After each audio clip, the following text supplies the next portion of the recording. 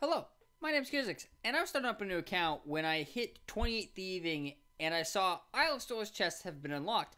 Personally, I've never done these, and I was like, hmm, just how good are they? Are they worth doing for profit and or for skilling? Today, I hope to answer that question for you and me both.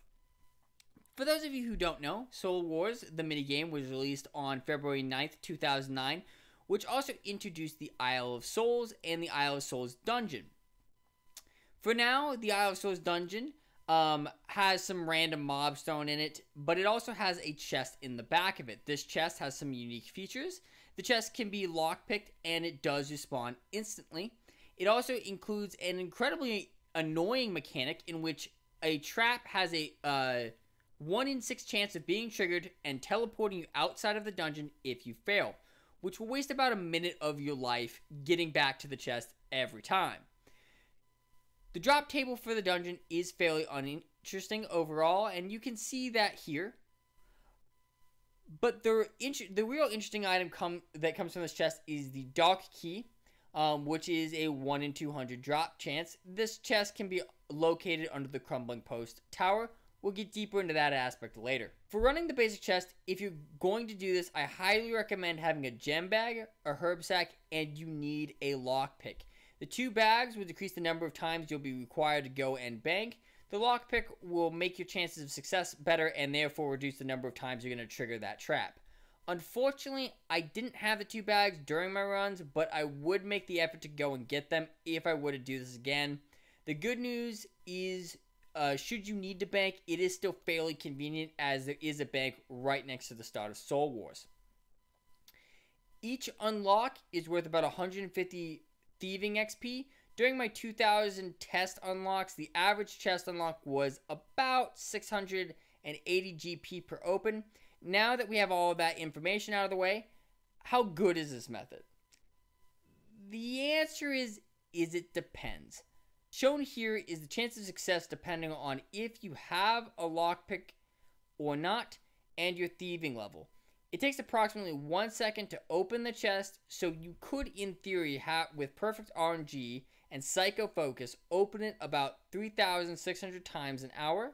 For both easy math and it was about the time, each time you're teleported, it wastes approximately one minute, so you lose out on potentially 60 unlocks per trap trigger.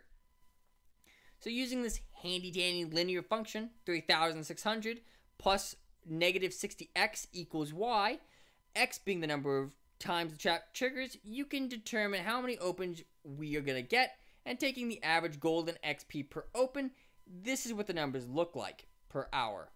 Theoretically, with a 100% success rate, you could be getting 540,000 XP an hour with a hourly profit of 2.4 million.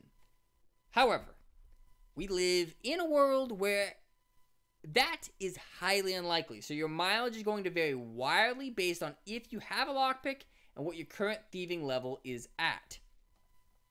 Now, back to that dark key. We were talking about it earlier. It's those interesting drop from these chests, and it allows you to unlock ch the chests underneath the crumbling tower. Um, here's the drop table from that dungeon.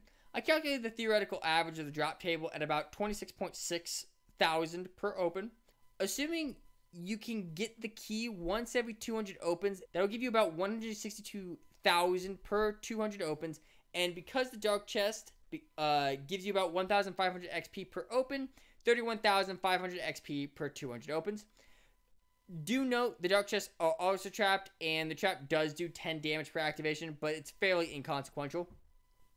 Because the dark keys do stack, I would recommend stacking the keys and then doing it all in one go rather than every 200 or every time you got a dark key going over the crumbling post just to save you some time. In conclusion, is this method good for XP? If you're super lucky, absolutely. Are you going to be stupid lucky? Probably not.